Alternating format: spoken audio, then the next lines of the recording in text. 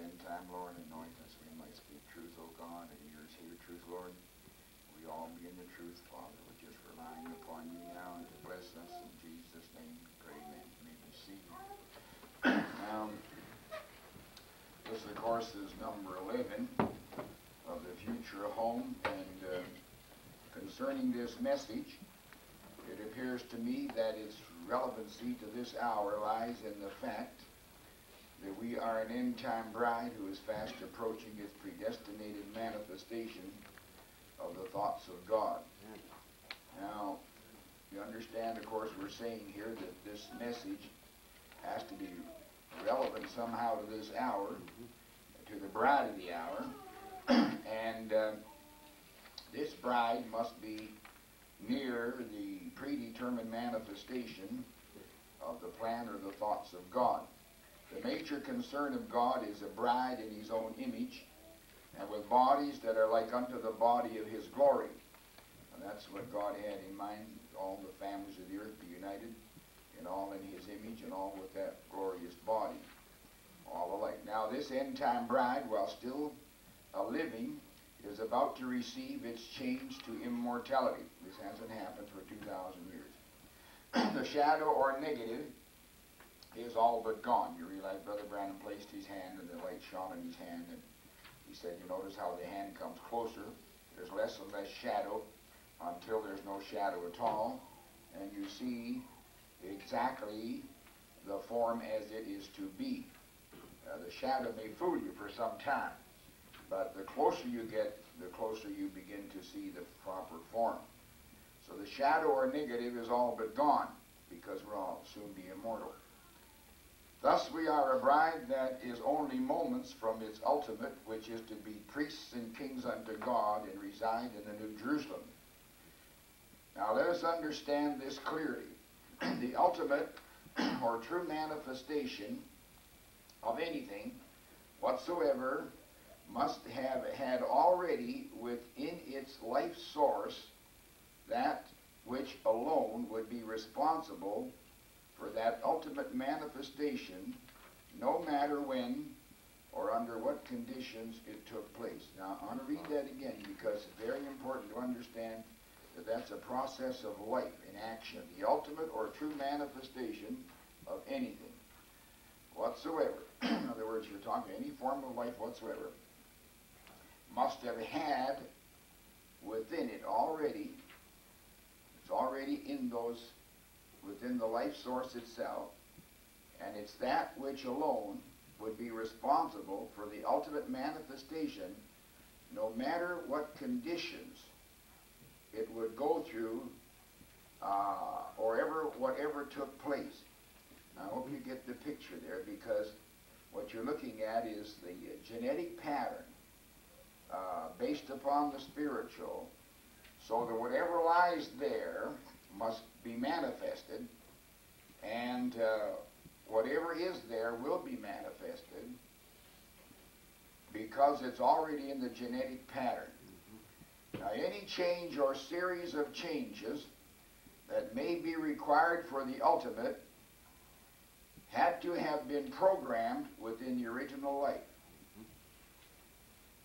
All things work together for good. That series if it's in a series, then most of the time it is.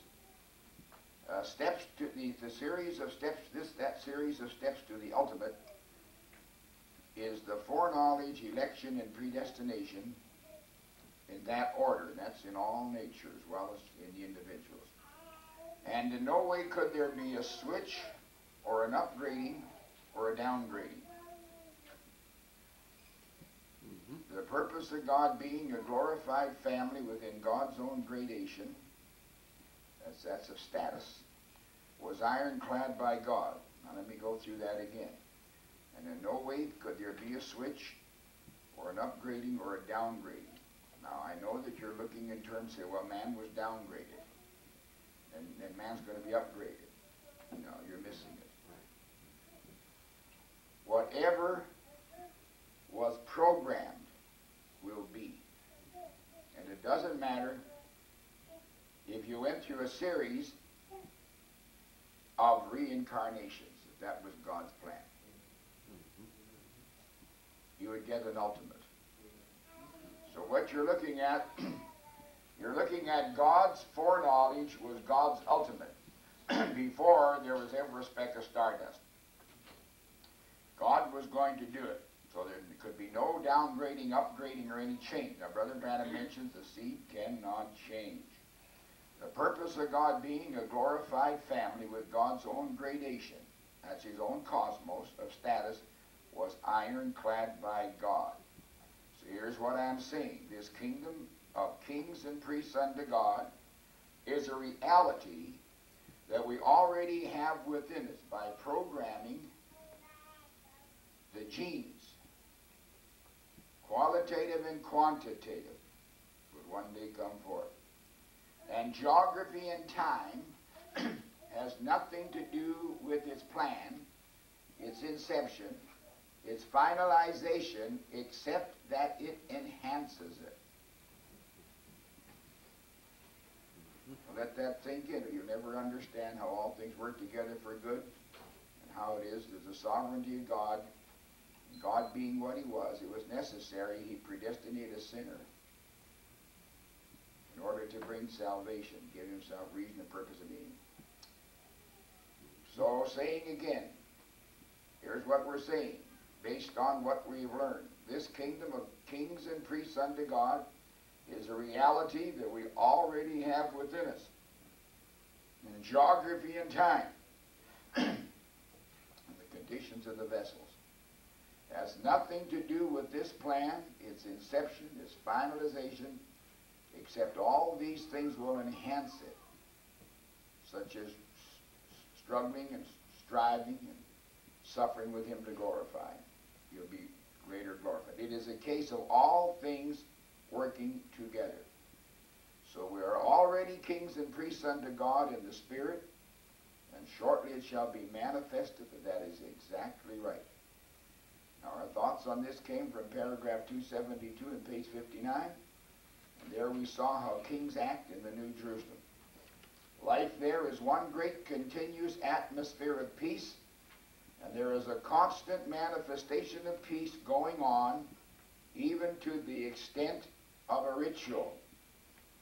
Thus, my thought was one wherein I see we are so close to immortality that the negative should be all but gone as we rally round the last day word, that our lives should be lives of peace and extending peace.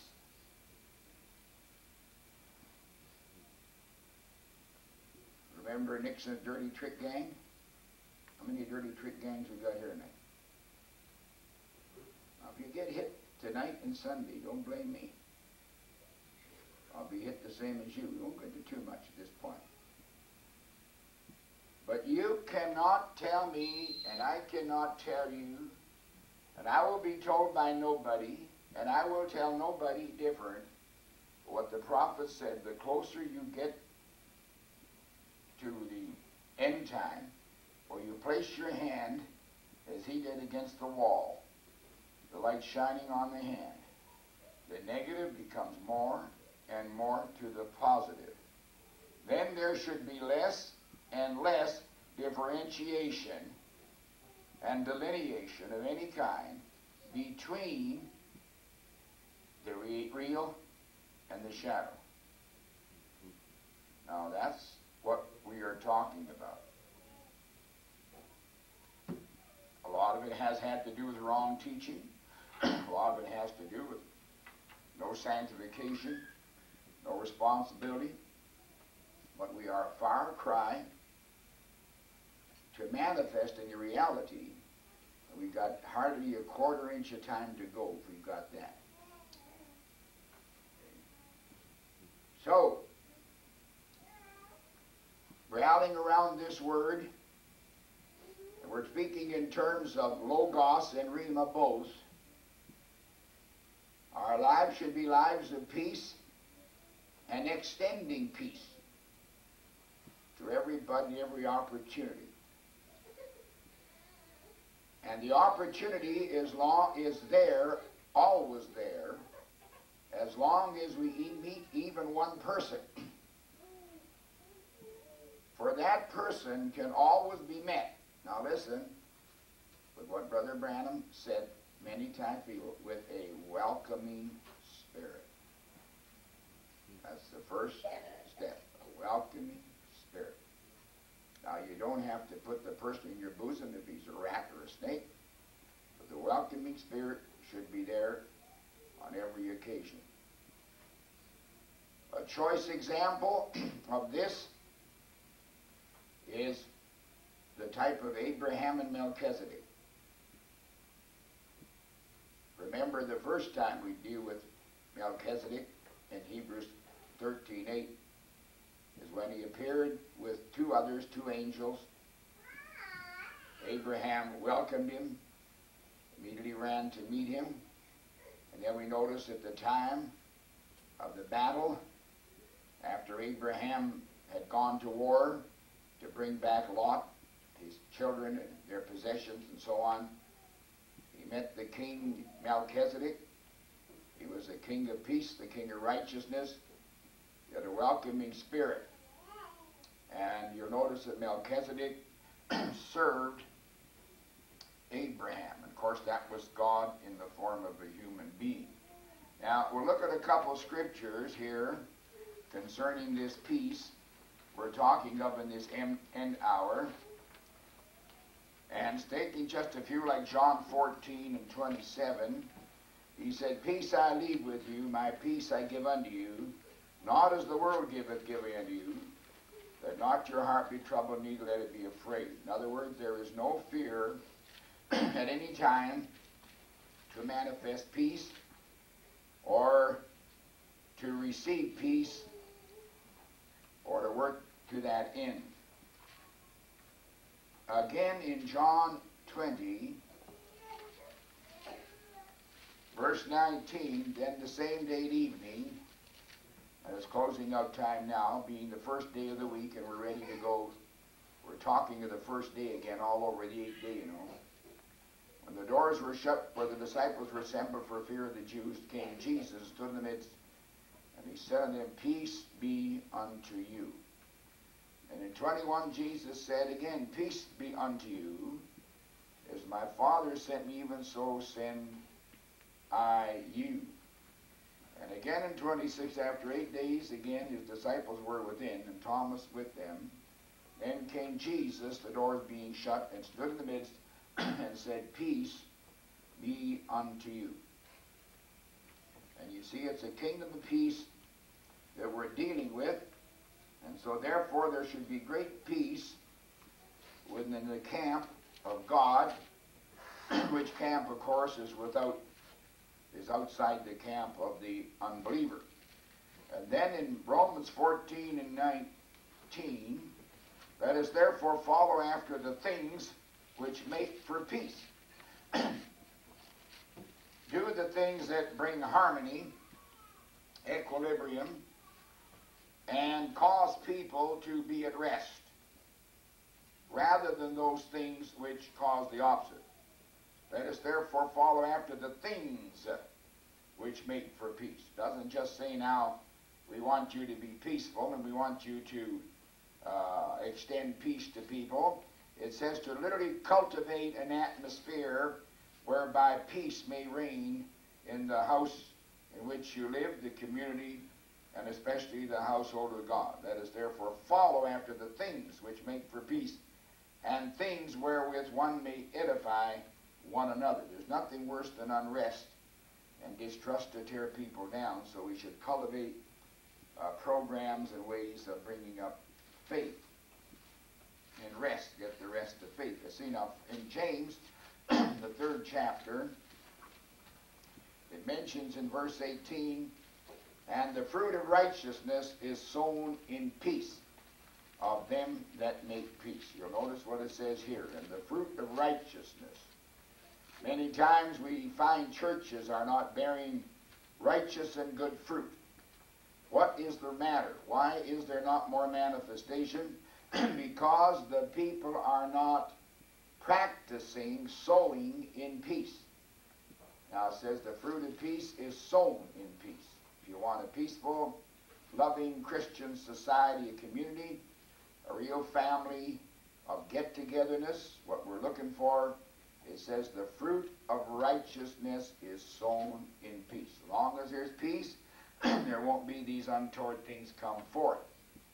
Many churches have them, and of course, it's a bad situation. We want to get to the place where we are as calm as a mill pond in the sense that we have that calmness, but we are swift running waters in the sense that the move of the Spirit of God is amongst us. And the fruit of righteousness is sown in peace of them that make peace. Blessed are the peacemakers, of course, for they shall see God, and so on.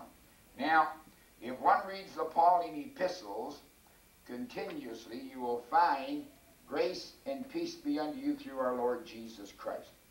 And I would suggest that it is the grace of God at this time that has brought himself down in our midst, a very imperfect people, such as described by God himself, as to be highly immoral, wretched, miserable, blind, and naked, and don't have the brains to know it. You know, in fact, they'd have so little brains they even crow about it. We don't have that problem here in that respect. We're looking at the fact that as this hour, the God of all grace has come down, and that the peace, of course, then is manifested with it.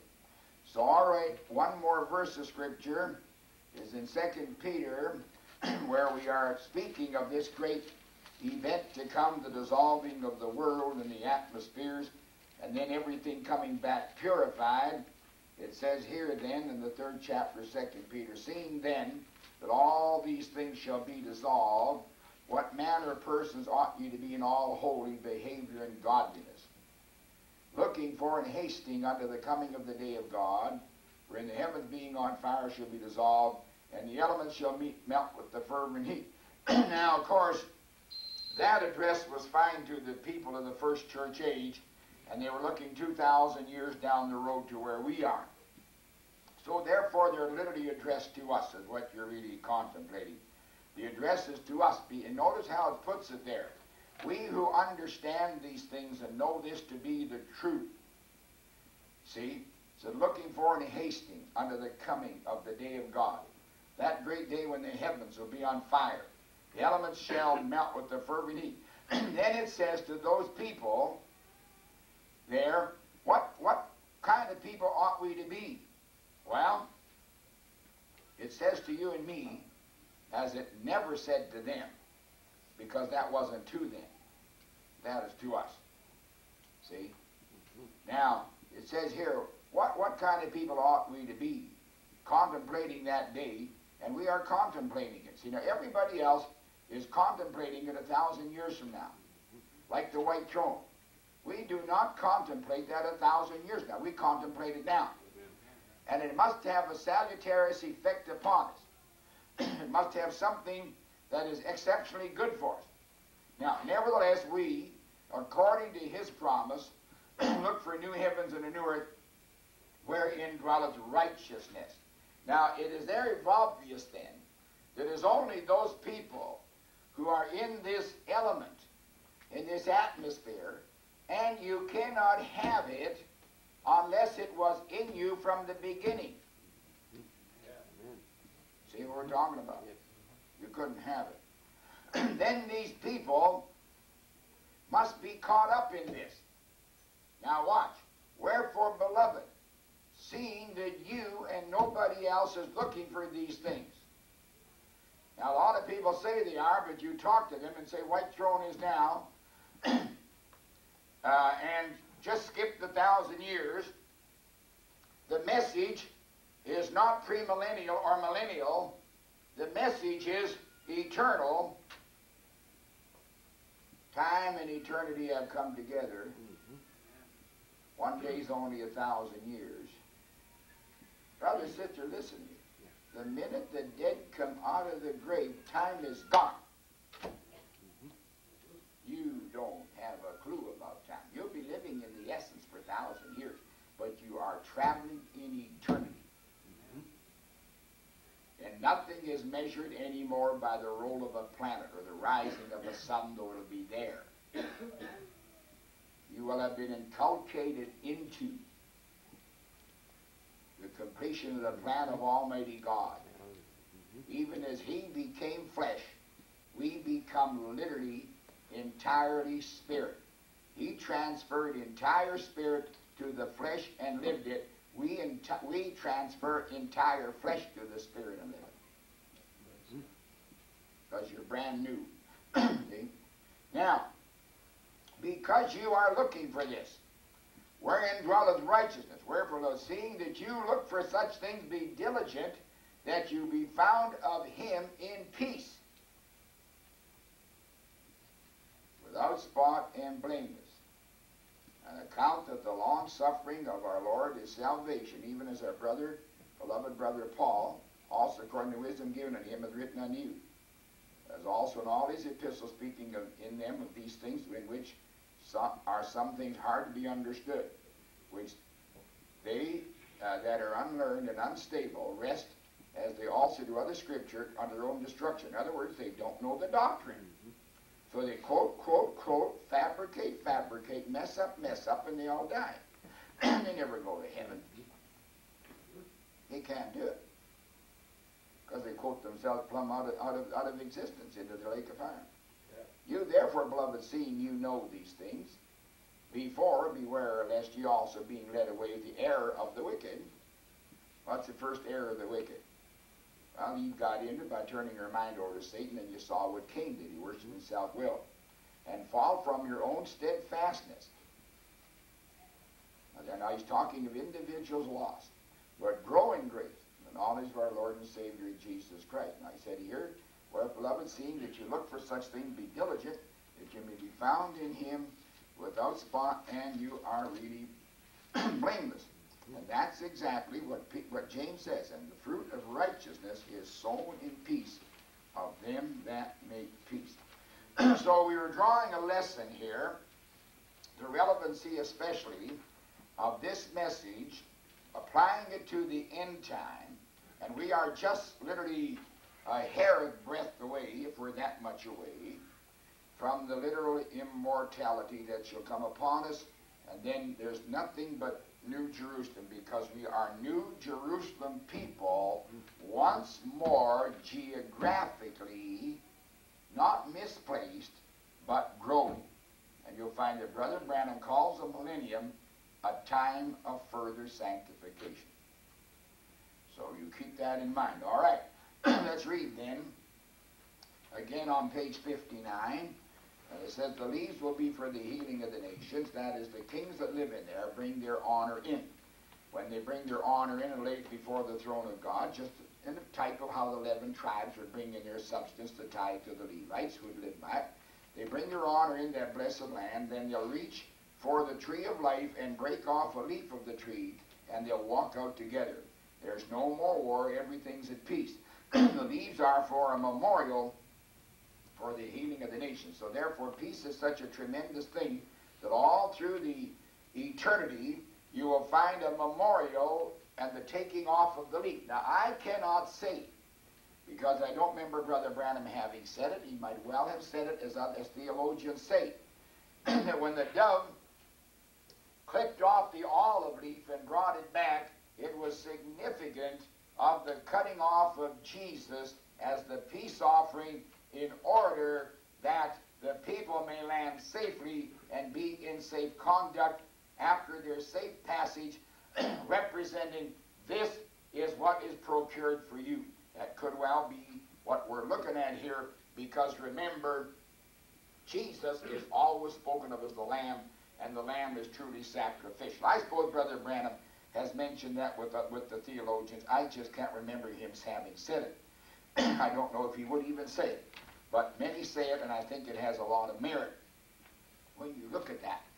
it's also then in this hour when you realize and contemplate the fullness of the value of the blood of Jesus Christ, how that blood is now uh, dealing uh, for us in such a marvelous way, then certainly then peace like a river should flow, and at all costs we should be negotiating peace, sowing peace, and doing everything we can in order to bring in a peaceful spirit. And of course, that distinctly means like the plucking off of the leaf. It means a cessation from the position it once held. And saying, I no longer hold the position. Now, look, we could talk about this for a long, long time. But you all know we have unrest in our hearts. As Brother Branham has said, and everybody says it so clearly, we can forgive, but we can't forget. But in the position of not being able to forget, we can always remember then that we are in a position to forgive and to do something about it. So nobody expects anybody here, and myself included, to suddenly blank out. Because I just, I wish I could blank out. I've often thought it'd be nice if I could just die and wake up and be somebody else. I've given that up. You can't be childish about these things. So I'm not trying to put something on you so we're going to conduct some classes here and you're suddenly going to evolve into something you aren't. You have no hope of being. Forget it. But the point is this, that these kings knew what to do. And they held forth the olive branch which signified peace and victory. In other words, I have the victory. I don't have to live in the scum or the morass of my own uh, turgid thinking. But I can live in peace, and I will live in peace by the grace of Almighty God. not to have doubts and fears and, and, and wonderments. I have, I have plenty myself, and it's just not, it is not compatible with this life. It is not compatible. it's not what we should have at this time. We're too far down the road. According to the scripture which I am reading, and according to what Brother Branham said, and if he was indeed the same prophetic caliber, even far greater than Peter, because Peter was not really a prophet. No, he just said the things that he knew. But William Branham, the caliber of Paul, knowing these things and saying these things, bears down very heavy upon our hearts, minds, and life. All right, now, like Adam, he said there was a tree of life in the Garden of Eden that he might have eaten from if he hadn't fallen. Well, just too bad. He went. He should have gone to the tree of life first. Mm-hmm. Just let us sit there. And so he didn't get any help. That tree of life reminded him all the time that his youth was continually going on. all right? So, let's go over here to Revelation chapter 22, and you're going to really love this chapter the same as I do. I know you're loving it already. Where it says in verse 10, he said, the book is no longer sealed up. It's been done, been open to. Don't you dare seal the prophecy. The time is at hand. He that unjust is unjust ill. old Abel's is just, and old Cain is unjust. Cain is filthy, Abel is, is not filthy. Uh, Cain is unrighteous, Abel is righteous. Abel is holy, Cain is unholy. There you are. Behold, I come quickly, my reward is with me. Dear man, according to his work should be. I'm the Alpha and Omega, meaning the first, and first and last. Blessed are they that wash their robes. You're right up then to, to, to uh, Ephesians, the fifth chapter. the bride is being washed by the washing of the water of the word, which cleanses away all her filth. Uh, Revelation 3, 3, 14, 17 in there. She's no longer in her adulterous, rotten rags anymore. Now watch. For that they may have the right to continuous youth. And they may gaze upon their form, which is beginning to form by the Holy Spirit moving in the bodies of the people that are the bride. you have a right to ponder your youth. Brother Branham couldn't stand wrinkles. And he couldn't stand the thought of old age. And he took out the youngest and most handsome picture of himself in meeting. And he had him enlarged and put him up where everybody could see him. And he'd come home and she'd put it face down. Or Taylor, he said, why do you keep doing that?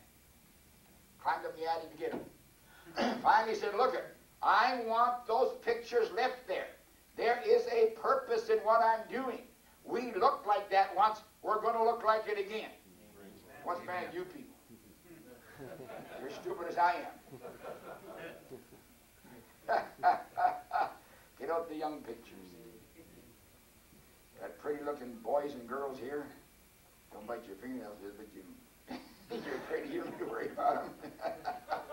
you're a pretty girl, you're going to be pretty. Look, look in the mirror and you go, you're going to be pretty all your life. Mm-hmm. Man oh alive. Handsome boys here. yes, there's a purpose. Mm-hmm. Brother Branham took the pictures of. See, see, well, that's that's the word of God. Not some hogwash somebody. The tree of life signifies a perpetuation of youth. And until you get kind of creepy, slight, slightly creepy, or creepy behind the eyeballs, I'm going to say this with the utmost authority. You're just as youthful at 150 if you still got what's behind your eyeballs as you were 10 years of age. Only you're a whole lot smarter. We're entering a realm where we don't need to worry anymore about what's behind the eyeballs, Alzheimer's disease or anything else, or lack of glutamine, some of those things that bring you down. You have to worry about whether you drag your feet or you have a foot to drag, because this is the hour of perpetuation. The youth going on. And there is the thought here that our youth is going on because there's no such thing as youth or old age and gone. It is just the fact that the little bit of the tenure in this mortal vessel makes it a little bit blotchy. Other than that, it's very good. Looking at the tree of life in this hour then means our youth is going on. Don't look to get older, look to get younger. See, same with the nations. the leaves will be for the healing of the nations. Notice, not sickness now, Immortality doesn't have anything to do with sickness. Immortality has to do with complete blasting the old molecules. Mm-hmm. Sickness in getting better is hopefully you'll grow some new tissue.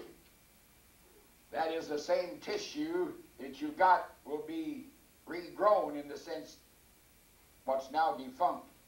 Hey, we're going to get brand new substance, brother, sister.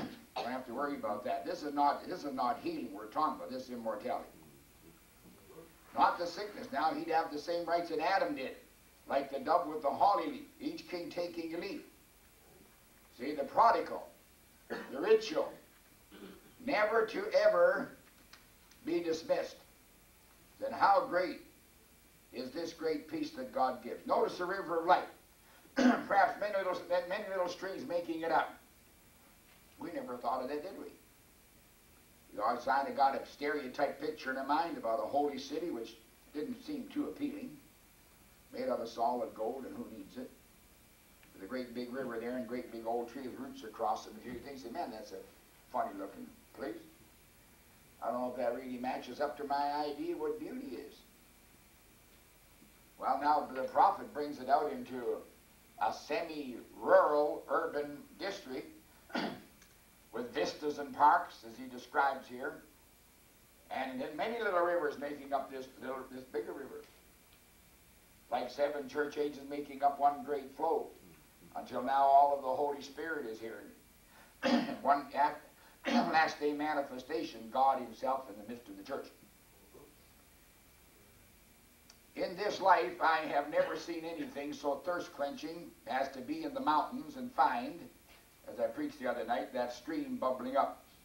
It's a life-giving resource. Now, he doesn't say source, he said it's a resource, and that's good. You'd be tired and thirsty. Fall down by a good stream. Way down where germs can't go. Way down hundreds of feet in the earth is bubbling forth pure, genuine, life-giving water. We appreciate that. That's just a little thing, of course, what you're looking at here.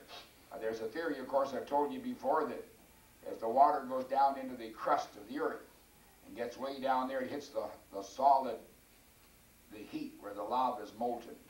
And then that just hits the water, makes it pure steam. And at one time there wasn't all the pesticides and the gunk in the earth we got now through the evil of mankind. The water came up with pure water, beautiful water, picking up the minerals that came along, making it wonderful drinking water. Well, uh, that's a life-giving, it's not a life-giving source, but it's a resource that contributes to the life. now, Brother Branham said this river here, although river of life is not life itself, you already got it. but it's one of the great resources of the life itself, which is God. Evidently, it's symbolic, or at least we can look at it that way for the time being. 275. Now, the earth has its many streams with refreshing water. There have been seven streams over the seven church ages.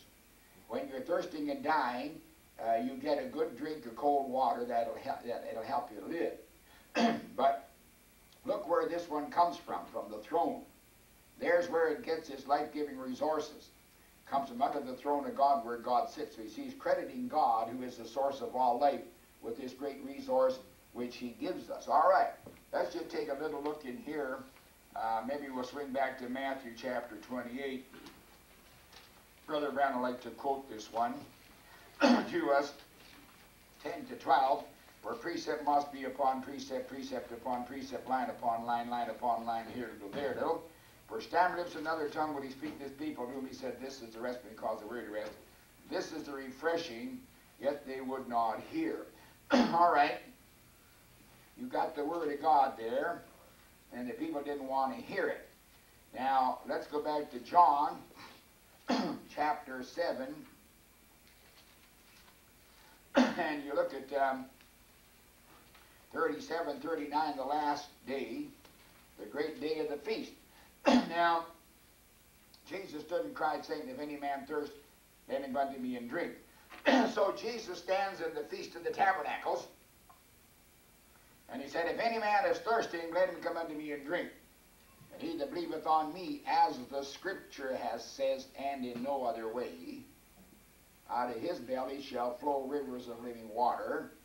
But this spake he of the Spirit which they that believe on him should receive. For the Holy Ghost was not given because Jesus was not yet glorified. Now, you put this, Brother Brown Branham said this is the seventh church age and this is the Feast of Tabernacles. Then we find Jesus back here in the book of Revelation, the third chapter, speaking on the great day of the last feast. And he said, Behold, I stand at the door and knock. And if any man hear my voice and open the door, I'll come in and sup with him, and he with me, and him that overcometh. Well, I grant to sit with me in my Father's throne as I've set, my throne as I've set down, overcome and set down in my Father's throne. And over here, in the 22nd chapter of Revelation, after the book is open, and the great separating by the Word, which was handled by the Word, or the Logos handling the Rhema, through the prophet comes on the scene. Verse 17, the Spirit and the bride say, Come. Let him that heareth come. Now let him that is athirst come. Whosoever will let take of the water of life. Here you have in this end time of the perusal of the great new heavens and new earth and the new Jerusalem, you find the giving of the substantial water of life in this hour where people now have life-giving resources as they've never had it before. He said it comes from under the throne. And Jesus said, I am sitting on my Father's throne. And you have these resources here to give you a refreshing. And remember that refreshing is precept upon precept. It is the Word of God coming, as Brother Branham said, you receive the fullness of the Holy Spirit, piling word upon word until you have a genuine baptism with the Holy Ghost. That is a life that is absolutely full of the life of Almighty God. now, God is sitting on this throne here, and He's the great creator. So it signifies the life and the power, the constant creatorial power of the great creator in magnificent display. All of this earth, this here in which we live now, every one, whether it be a Christian or pagan religion, have temples. Do you ever think of that? Churches, all of them. This one doesn't have any. New Jerusalem has no temple. Millennium has one, this doesn't. The Bible said there was no temple in it because the Lamb is the light. now, in Revelation, again 22, you'll notice in there, in 17, the Spirit and the bride say, Come. In other words, they're absolutely one with Almighty God at the end time. invitation to take the water of life freely, and that is the great temple. In other words, now you must consider the fact that you have God Himself as our own holy temple without having taken on the manifestation that it will take on or He will take on 1,000 years from now.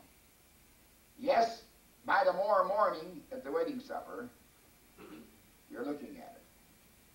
You're not looking down the road. No way, shape, and form. So neither are you looking at this as though you need to look at a temple. I think that's one reason I hold so lightly any church building. It'd be nice to get a nice building that's convenient, commodious, those things, but I have no respect for it, to be honest with you. I care if it's a billion dollar temple, I'm not interested. Because if God is not there and God can be found in some old barn, rat infested, we've been in those too, I'd just soon be there. Mm-hmm. In fact, a whole lot more would be there than someplace else. So you're looking at what the true temple is. You're looking beyond yourself as a temple of the Holy Ghost. You're looking at the true temple where all the light is and all the life is and everything that comes out of the great Creator. You're looking at it now because we even got his picture. Now, you might not want that. You might not believe it. That's fine by me. It just shows you you don't believe what we teach. You don't believe what the prophet teaches. Because you've got your crazy ideas back there somewhere that you've got an idea to know something. Well, be my guest and know something. I'm tired of these men that know something. They make me sick. What do they know? They can't even cure a hangnail. Listen, I'm going to tell you something. It's hard enough to even believe a vindicated prophet without listening to the brains of the scrapings of an ass head. Yeah. You're just getting the scrapings of an ass head today, not even the ass head. Brother Branham said the theology is so poor. It's made out of the soup of the shatter chicken to start with. My sarcasm is not biting enough. Stick around a while. The lamb is the light. And the lion is the temple. Why he says that, I don't know. But he says it. Perhaps it means that the lamb is the light. uh, light coming out of the resurrection power that's here. and the lion being the temple, in other words, showing forth in manifestation power. I don't know. I can't tell you. uh, it may be that it has to do with the lion face.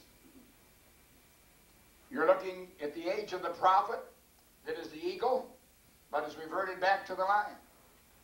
In other words, the lion of God is on the scene, God demonstrating, manifesting his power, vindicating, so that the prophet has the right to speak.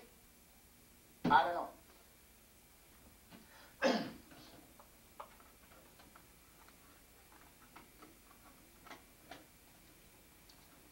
but to make it relevant, I would say that is a fairly good thought. John saw the one on the throne in Revelation 5 1 to 7. You can take a look at that. Might have some thoughts in it. I don't know, but just look at it. I saw on the right hand him who sat on the throne, a book written within, and on the back side sealed with seven seals.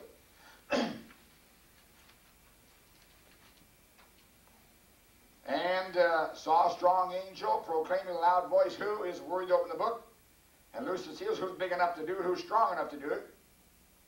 Because this book is mighty bound. No man in heaven nor on earth or under the earth is able to open the book, even look thereon. Now it much because no man was found worthy to open the, read the book or look thereon. One of the elders said, Weep not behold the lion of the tribe of Judah, the root of day that prevailed, opened the book and loosed the seven seals. And he looked and he saw a lamb. so, you could now begin to see, if you cared to see, the same life in two forms. One is lamb, which is significant of the death, the uh, remittance of sins, the opening of the door for the Holy Spirit. And then you see a lion come forth, and a lion always signifies power, always signifies strength and ability, showing vindication, vindicative properties. So in this hour, Again, we see vindication. We see all these things. And we know that we are part of the eternal city because we recognize. Now remember, the oxen recognizes his master's crib. The birds in the air know their pattern and their nest, but the people of God don't know their God. So therefore, when the people know their God, and they know him correctly, then they are correctly identified by the instinctual, essential nature of God within them. Right. No other way. See, all these temples have an object they're worshiping. They got idols and so on. But in this city, he is the object. He's with his people. Again, I want you to notice that is Ephesians 1, 19 to 23. the unveiled God. In other words, he is not veiled. And he can only be apprehended when he is veiled because the veiled apprehends him or declares him or explains him. See? so, at this point, he is unveiled in our midst. They caught the veil there, but only a camera or a prophet could catch it. All right. That one is in our midst. And that one is going to be above the throne in the New Jerusalem and the new heavens and the new earth. And he's here now, and we are fully acquainted with the phenomenon. Mm-hmm. Because people couldn't even ask William Branham the question, and he answered the question. Before they called, he answers. we are in touch with and have seen the consummation of revelation of the one into whose presence we shall bring whatever glory we are allowed to bring through his grace and his goodness by having allowed us to be a part of it. Because always the wife gives back to the husband, minister to him what he has given her. also remembers Hebrews the second chapter. In the midst of these people, he sings praises unto God, and he said, These are mine. In other words, he authenticates them. Even today, we have the same authentication. 277, his spirit light floods the pyramidal city. In other words, it is, a, it is a spiritual light. It is an emanation. It is an outraying. It is from what is within him. The glory of God and the Lamb. God himself shall be that light. Now, Brother Branham mentions continuously we'll walk in the light. And we know, of course, that that light is over here in First John. this is the Alpha, and we are in the Omega of the first of that of that great light. And he said that which was from the beginning and so on. We've handled of the word of light. Where the light was manifested. Now you know life itself is inscrutable. It cannot be seen. People take a, a high-powered microscope and they see little spirochetes and little tiny things that you have to have a tremendously high-powered microscope to see them. What you, what they see is not life. What they see is movement caused by the life manifested in a material form. But life itself is spirit and is absolutely inscrutable. it cannot be seen. But he said, we have it. Number three, that which we have seen declaring to you, that you also may have fellowship with us. And truly our fellowship is with the Father, with his Son, Jesus Christ. And these things write unto you, that your joy may be full. This then is the message which you heard him declaring to you, that God is light, and in him is no darkness at all. So therefore, the more fully identified you are with your Father, the less you will have of darkness. Mm-hmm. Then this bride at the end time will be 100% light. And being 100% light, God will be duty bound, therefore, to put her into the same body as Jesus. Mm-hmm. Read it over. Yeah. Mm-hmm. You don't think that like is going to get dislike. Like is like. Like father, like son. See? All right. If we have fellowship with him and walk in darkness, we lie and do not the truth. Is the time of full light. Full light brings full walk. All right? If that's not the New Jerusalem, outside is true and better geographical situation, I want to know what I'm talking about. Once more, you have the relevancy. You're not looking down the road, brother, sister, to arrive. I don't preach that kind of message. That's not what God has given me by the prophet. My message is the prophet's message. You don't look back, you don't look forward, you look now, and you see what is now. Mm-hmm. if we walk in the light, you see in the light. We have fellowship one with another, and the blood of Jesus Christ, his Son, cleanses us. There you are again. Once more, the tie post of the word allows us to proffer the olive branch under every consideration, or to take the word from the tree of life. That's why your constant talking together is a good thing. How can you be disadvantaged one to another if you're talking the same word? Now you've lost some of your diligence, and I feel it up here, and you feel it down there, so get back on the ball. Now you can do what you want. But it's just that simple. I bake a lot of cakes from scratch. If you don't have the scratch, you can't bake. But if you got the scratch and you're too lazy to bake, won't do you any good. Some people have every excuse. this word, Brother Branham said, is either our life or it's not, and this church will go ahead with the understanding Brother Branham gave it, or it's going to go back with the understanding Brother Branham gave it. And he said, I'm afraid you're going to be careless. There's going to be too many things get in your way. And I find that myself to an overbearing degree. you find it that way too. But I'm going to tell you something. That's that thing that we might think is a sacrifice to put ourselves in this position of the Word becomes the great fruit we're looking for and the great power. I mean, let's go on. Brother Branham categorically said in Matthew 24, 27, was for this hour, which was the light from the east to the west. we have it. I want to ask you a question.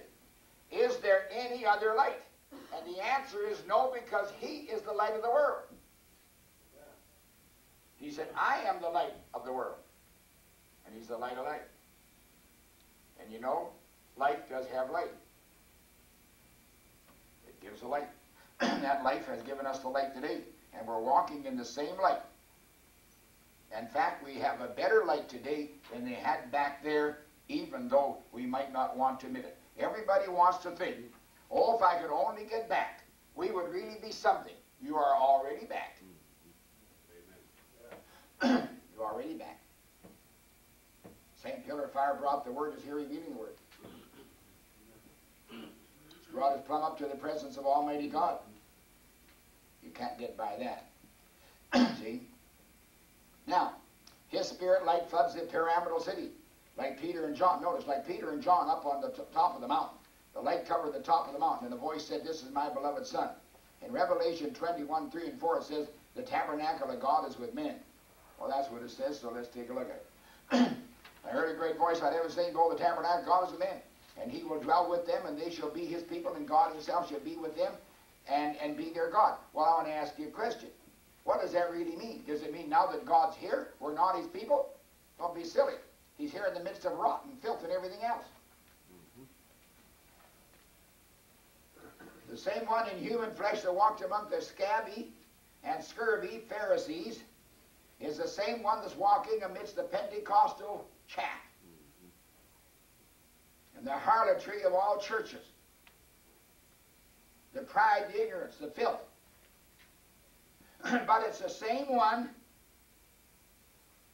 and it's the same people from all ages born again are going to be there. And we're right down again where the scribes and the Pharisees were, and where Jesus could even turn to the disciples and say, You're all clean but one of you, because I know one of you isn't clean. Now, we're not trying to get down to numbers in this church. I'm just making a reference to the fact that the clean was with the unclean, and he was right there, and they were all anointed. But only 12, only 11 made it. The one didn't make it. That's all I'm doing is illustrating. And God shall wipe away all tears from your eyes, and there'll be no more death, nor sorrow, nor crying, any more pain, for the former things are passed away. now at this point, they're in the last stage of passing away. Because it's the same God bringing all things to perfection. See? All right. He's present. Now, 278. This is very good. God is going to redeem the earth and tabernacle in the earth with his subjects of the earth, which he brought forth from the earth. well, you'll notice that this is the first resurrection. That's why Paul wanted to be in it. Because they're the only ones of the earth that's sanctified by the blood and truly redeemed and cleansed by the Holy Ghost to come back here. The others won't. So the one that's here to provide the first resurrection is, is separating them even now and by the, the by his own voice, not the shout now. The shout is separation here. But by the voice, he'll separate them, bring them out of the earth. now God is going to redeem the earth and tabernacle in the earth when it's fully redeemed by the fire, all burnt out, all cleansed, with his subjects of the earth. That's in the first resurrection, which he brought forth from the earth. See, like he came forth with Jesus in the first part of the, the first half of the first resurrection. now, materiality was going to be immortalized, but through sin it fell. He had to let it go on. But now he sent Jesus to redeem the fallen earth, which we are a part of it. There's not a hair of your head that will perish. That is really get lost or annihilated. Jesus said so. He said, I'll raise it up again at the last day. That's today. Okay? Mm-hmm. Eh? See, why? Because you're a part of the earth. In other words, materiality immortalized. That was his plan. He's going to do it. See? Now, the earth was utilized to manifest light. The earth was utilized. Animals came out of it. We came out of it. But notice, we were there before we came out of it. The animals were there before they came out of it. The utilization is always as it is. It's a veil that hides the life and yet reveals the life. Okay? Mm-hmm. now, you're a part of the earth. You notice, I had a little joke about my wife telling me I lost my hair. I told her I hadn't lost one of them. She said, well, pray tell me where they're at. I said, uh, where they were before I got them. Wherever they were as a substance and wherever they are now, they're waiting for me. See? That's right. I'll go to them one day. now, the substance or form changes according to the stage or the condition of life. However, it will come back here at the time that the life requires it again, and it will be in the right form for that time. Now, we got the right flesh for this time, whether you want to know it or not. See, who? Somebody made a mistake. No, nobody made a mistake. I'm with you. I, I just don't. I just don't like the thought of this is it. Well, it's not it. This is temporary. See? but this is a tremendous expression. Wherever they were as a substance, wherever they are now, they're waiting for me. That's true. And I'll go to them one day. Now, the life will form the proper substance uh, from the elements according to the purpose of God. Three, this whole body wrinkling and falling and dwindling away, that's bending over and falling down. Shoulders aching in the knees, hoarse in the throat, that's all right. You can bury the seed, but the trumpet, that's 1 Thessalonians 4, 16, will know it's me when she rings out. Now, you notice it, but the trumpet will know it's me. So he's talking about a literalization of the fact of putting this into a form like it's a man or God himself doing it. Yes, sir. We're going to change one of these days. I'm part of this world that's redeemed. Now, that's a beautiful statement. that is a vindication theorem statement. We today, with Brother Branham, are a part of the world that's redeemed. See? You're in the world, but have nothing to do with the cosmos order of the earth. You're in a different order, a redeemed order. so therefore, in the redeemed order, the laws of God apply to the redeemed order where they wouldn't apply to the non-redeemed order. See? But it's the same God. Redeemed order. In other words, this is another vindicated basic principle. The vindication theorem says you are in the redeemed order. And you're in the redeemed order now because you're a hairbreadth away from being immortal. okay. Notice, the tabernacle of God will be with men. now, the tabernacle, unveiled, is with us. And it's getting us ready for resurrection. And remember, not a part of the redeemed gets annihilated. It all gets restored. Now we just go to John 17 here. uh,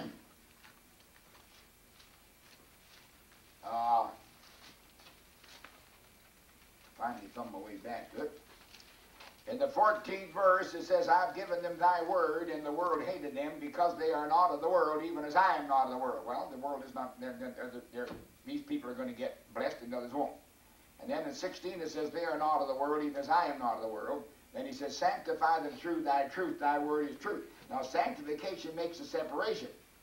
now, you notice the word will, number one, separate them and divide them. Then the same word will separate and divide again, and in the division, put God's mark upon them so they fall in the category of the entire redemption. The others cannot. See, the word puts them in or puts them out. Notice again, 1 Corinthians, the 15th chapter. and in verse 47, suppose we could read more, but I won't read more. It says, The last man, the first man's the earth earthy, the second man is the Lord from heaven. in there, we see that you're going to have a second portion dealt to you as an individual man. Mm-hmm. And as you're looking to come back to your original state with God, which you were in the beginning, without form, except just a seed thought. now you're going to have the form that caused you all the trouble taken away and changed to a glorified one. Notice the former things have passed away. This thing has passed away. That's this earth. This means that heaven has come on down to reside with men. The old cosmos system, the whole thing's gone. Heaven and earth are embraced just exactly as when the dove came down upon that part of the earth which was Jesus. See? Heaven and earth embraced. He was the dust of the earth man. God coming from that one little life germ by creative power. The life that was in that blood ascended back to God, but the blood dripped upon the earth to cleanse it, claim it, because the blood that was brought through, because of the blood that was brought through from the germ cell from Cain. I see here. What he's talking about here, the blood dripped upon the earth in order to claim it. Because, because of the blood that was brought through from the germ cell from Cain. Now he's telling you that, that, that the, the life of Cain began getting a, a wrapping around it, began lots of flesh around it. And that broke the entire bloodline of Adam uh, and, and, the, and the uh, children of, of, true children of God. This whole thing is messed up now. so God has to bring a re redeeming factor into into uh, into into play. So looking at the Satan sentence here, God coming from that one little light germ by creative power. Now, he's not saying God is creating God. That's ridiculous because God's already created. No, he, he, he's non-creative. He, he's just God. You can't say anything the fact he's eternal, just let it be there. now what he's saying here, that one drop of light, which was purely God, manifested, one, one, drop, one drop of this light, he says one little light germ. You couldn't see it without a microscope. That one drop of light was purely God and is manifested God in flesh perfectly. In other words, the one little drop of light that took upon a human form absolutely, perfectly manifested God. God needed nothing else All he did was prove who he was. He needed nothing else. He just proved who he was. And that life in it, he did the proving. Jesus said, It is my Father in me doing the works. Now, if it was God or purity God, that little life now, there, if it was purely God, then we don't divide him into God and man, or spirit and flesh, and try to allocate one to the other. Say now, this is flesh and this is spirit. No, because if it is God life, it's going to have the body that is required and in the genetic pattern that's in that life. so, any more than you could separate a bird from being the bird, neither can you separate this. What you're looking at is God in the form of a man. So that's what you got to see. Now remember, the germ was the full attributes of God to make a body. Now, he was purely God as to his flesh, for the life formed and lived by the flesh, and his desires in that flesh would be God's desires, because the flesh is the vehicle of the life, and the life controls the vehicle. so, I want to look at it this way.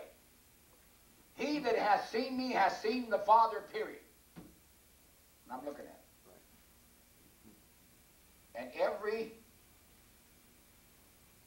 wave or vibration or desire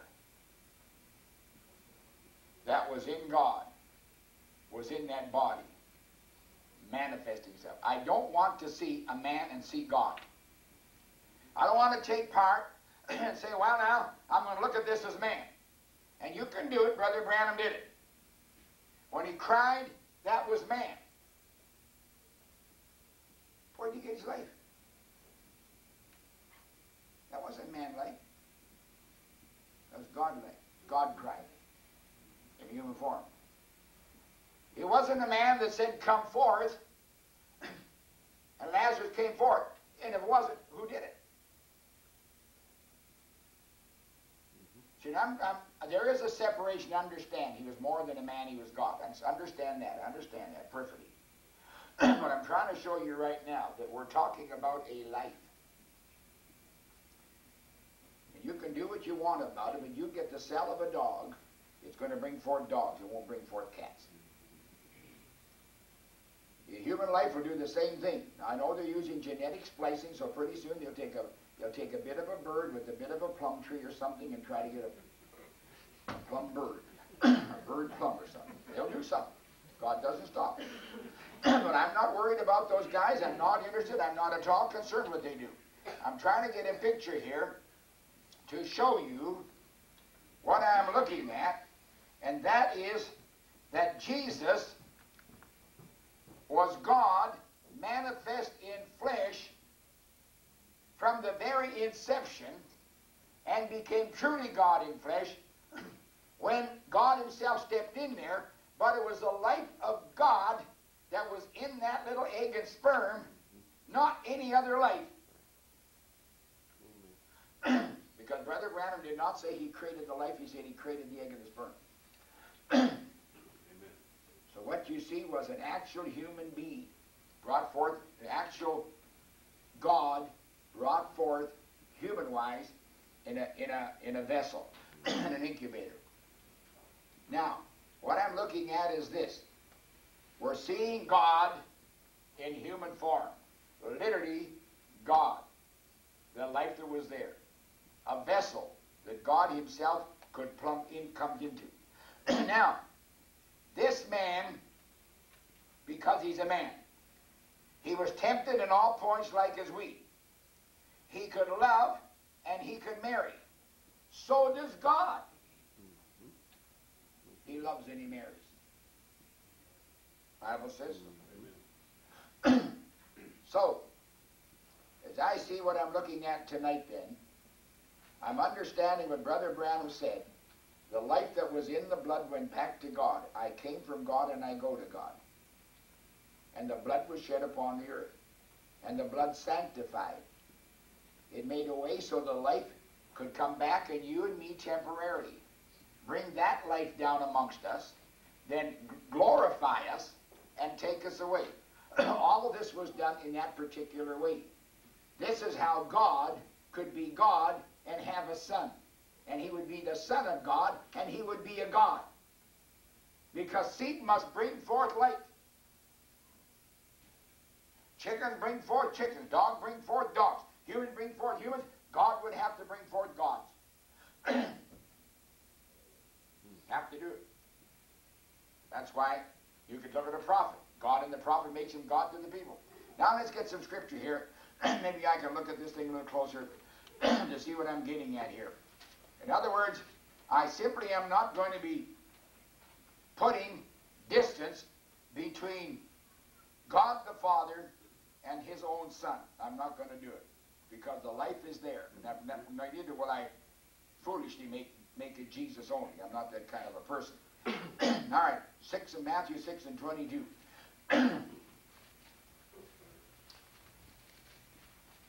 Just what I want here, let me see. All right, the light of the body is the eye. Therefore, thine eye be single, thy whole body be full of light. I want to ask you, did Jesus Christ have any deviation of God in him, or was he purely God? I don't care about the body. Mm-hmm. I'm not interested. Right. because that was the temple. Then he says over, he said right on down here in 24, no man can serve two masters. He'll hate one and love the other. He'll hold to one and despise the other. You cannot serve God and mammon. Did he have two fathers? Was he was he two brands? What was it anyway? In 25, therefore I say unto you, take no thought for your life, what you eat, what you drink. And yet for the body, what you put on is not the life more than meat, the body more than raiment. Now he's now he's making a suggestion right there and showing you that the life is apart from it all. now, when did Jesus ever serve two masters? He never. He said, "I got no part in Satan. Satan's got no part in me." He was perfectly one with God. Now, you go into Philippians, you'll see the same thing that Brother Branham said there. he changed his form.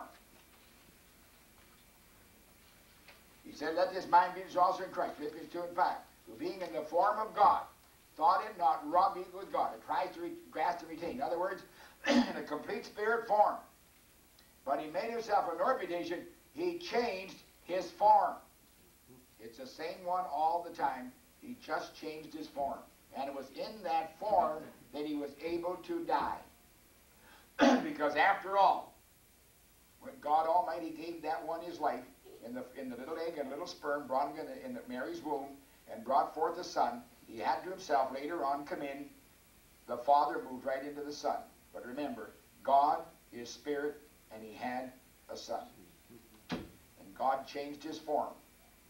Left the pillar of fire, left the angelic form, the archangel, different things like that came right down, and, and indwelt the Son, and by the Son he completely manifested himself. See, now there, there, there's some mysteries involved in there, but I like to keep it as close as I possibly can. Let's go to 1 Peter, the third chapter, the 18th verse. For Christ also once suffered for sins, the just for the unjust, that he might bring us to God, being put to death in the flesh, but quickened by the Spirit. Now, what was quickened by the Spirit? The flesh was. The Spirit wasn't quickened by the Spirit. you you and I get our souls quickened by God. this one didn't have to have that. See? What was it got quickened? The flesh got quickened. The flesh was raised up completely. Now, we are sons of God, and we strive to give him the preeminence. That's what we're looking at here. but how successful we are is to be raised to be seen. So we see here that God, coming from that one little light germ by creative power. In other words, God, he's talking about uh, Revelation chapter 3 and verse 14, where he calls himself the beginning of the creation of God. God forming himself into a human being. that light, it created that little that, that was in that in that egg and sperm. it went back to God. Remember, God himself had gone back from Christ in the Garden of Eden. I beg your pardon, Gethsemane. Brother Branham taught us that. All right. the body was certainly human. The life was certainly God-like, pure and simple. See, that's what you're looking at. but therefore, remember, the body was what? It was a complete image or the manifestation of God. It was God's veil. And remember, nothing else could have come out of that life but that figure. Yes, nothing right. else could have. So that's what I say. When you look at that, you're looking at God. Mm-hmm. he that has seen me has seen the Father. Because it's, because it's all of God. Now, 282. He comes back with your creative power just like he did Adam, creating Adam. Here is the second Adam. now, um, notice, let's read it again. Now, he comes back with the creative power, just like he did Adam, creating Adam. Here is the second Adam. Now, he's still talking about New Jerusalem. And he's talking about the ground or the earth being redeemed and completely restored. So therefore, he is talking about 1 Corinthians, the 15th chapter. now, if he's not, I'm telling you something that I shouldn't be telling you. But here's what I see here. 1 Corinthians 15, and uh, you can read 35. You can, but some man will say, how are the dead? How much, much time we got left, Joe? All right, how are the dead raised up? What body will they come? Thou through that thou that which thou sowest is not quickened except it die. He's talking about a piece of like a grain of wheat or oats. That which thou sowest, thou sowest not that body that shall be. You don't sow the entire body of the grain, the stalk, the leaf, and everything else. You just sow a tiny grain. And it'll bring forth what it's supposed to bring forth because of the genetic pattern that lies in it that was given by God. And the body that's in there is pleasing to God. Now remember, everything that's not pleasing to God gets burnt right up. So you better get a body that's going to please God because these bodies don't necessarily please God. now they please God in that that's the way God wanted it. But they don't please God in the way that they're doing now. So he will give the body back from the seed. The seed will bring to itself the glorified constituents. That's what it says. All flesh is not the same flesh. There's one flesh of men, beasts, and birds, and so on, and bodies, terrestrials, and the glory of the sun, the glory of the moon, and stars, and different things. So is the resurrected dead. It is so in corruption, raised in corruption. So in dishonor, raised in glory. So in weakness, raised in power. So in natural body, raised in spiritual body. what does it? The seed the seed demands a figure. It demands a veil. it demands a manifestation. That's what it does. Now it's raised, it's raised a spirit body. There's a natural body, there's a spirit body. Has it written? The first man, Adam, was made a living soul. The last Adam, a quickening spirit. Now, Brother Branham, going back to Genesis, is quoting the making and the creation of Adam. And now he says the resurrection is going to make a second Adam. I never thought of it that way, but never did think that. I always thought that Jesus was the second Adam, like all theologians. Now, whether Brother Branham is bringing out a theology here, uh, some theology is beyond me. But I like it. I like what he's saying. It's, it's, it's very good because he is actually creating Adam again. Every single one. He said he'll not he'll create not by sex and marriage and divorce, but he said he by creative act he'll take the the potassium and the calcium and the he said the minerals, cosmic light, all of those things, bring them right together, and he'll make a body. And he used the word cosmic light, and I think on the idea that's the light is going to emanate from us, or it's going to motivate us. It's not going to be sexual life as it comes through the blood because there's no blood. There'll be no blood. What all it means, I don't know.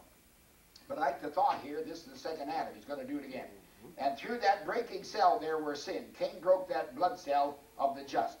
See, now this blood cell, because he killed Abel, but Abel was born sex. But this one wasn't born sex. It was a creation of God, the beginning of it. I was just telling you here how the blood was shed at Abel. He couldn't do the job. He was born by sex.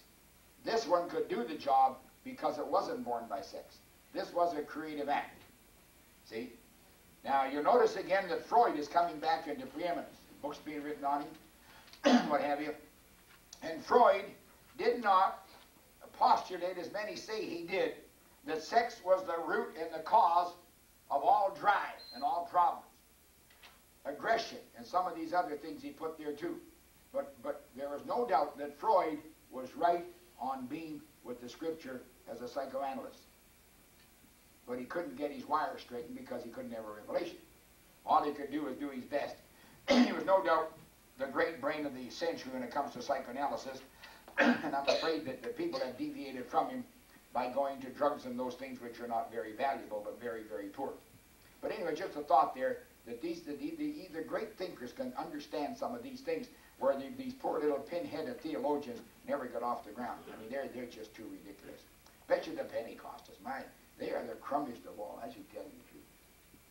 And I've been a Pentecostal for many years, I should be honest with you, they are the worst of the worst. they're, they're, they're, they're, they're worse than the Methodists, and God knows they're horrible. Hear about the corniest of all.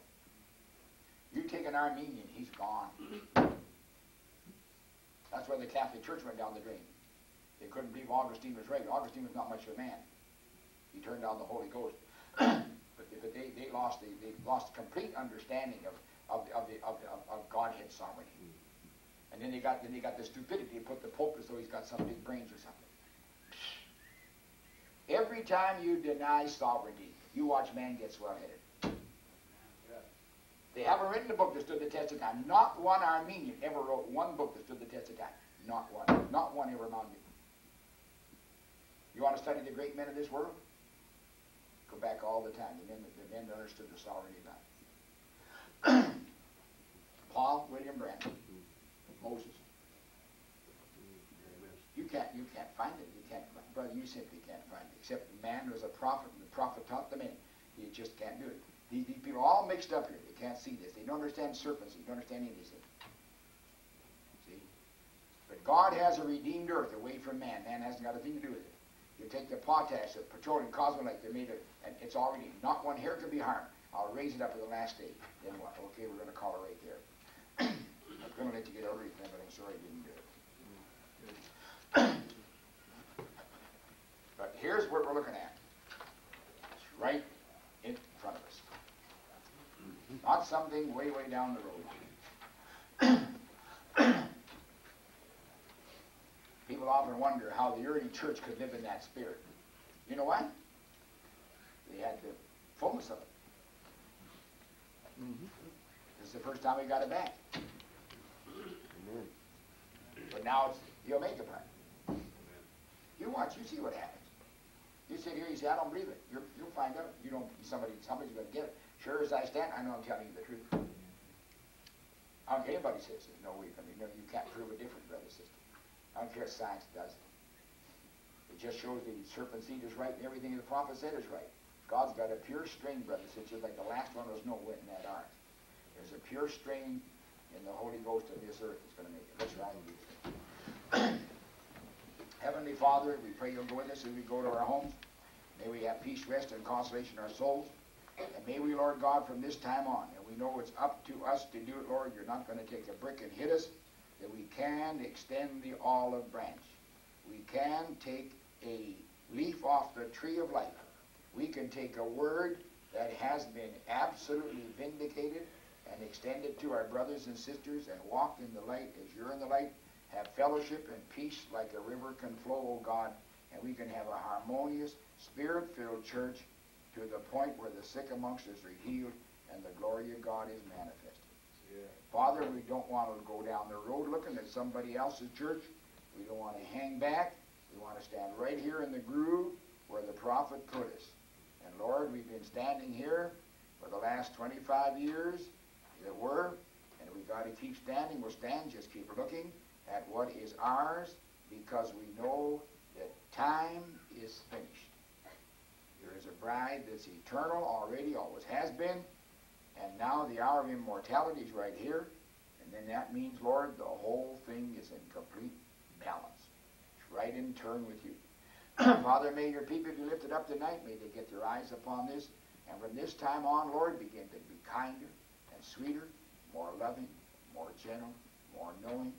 Just more, more what they really are priests and kings unto God, all the glory poured out to you, Lord, and everybody with a welcoming spirit, because that's what it's all about. And here we are living in a world where it's already forming, where it could never form before. Father, if this being the case, what a bride there is reserved for the end time, as the prophet said, this is the age I would pick. And now we begin to see why he said it. So, Father, we just thank you for this wonderful, glorious opportunity of being a part of it. May we just love as we've never loved before now, with every barrier, every boundary down, and every one extending love. Little rivers each one flowing in one beautiful river until one day it floats us plumb across. Now unto the King eternal, immortal, invisible, the only wise God, be all power and honor and glory through Jesus Christ our Lord. Amen. And amen.